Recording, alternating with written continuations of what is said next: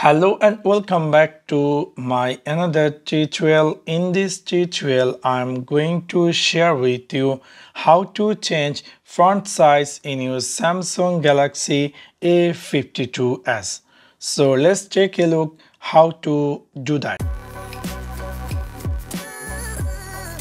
You might be recently brought this Samsung Galaxy A52s and you are wondering how to change font size.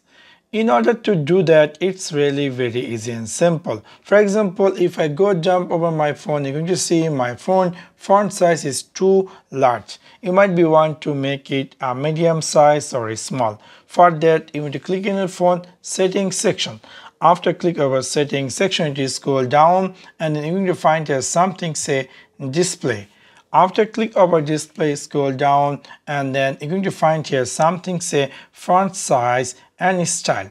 After click over there, you're going to see screen appear just like this. From here, you can easily uh, choose the size you want. For example, I choose this. You can see this is a preview how this font size and style going to be looks like. I make just this uh, this one, which is a default one. So within this way, you can easily change font size in your Samsung Galaxy A52s. So that's for now. Thanks for watching my video. See you next one. Peace.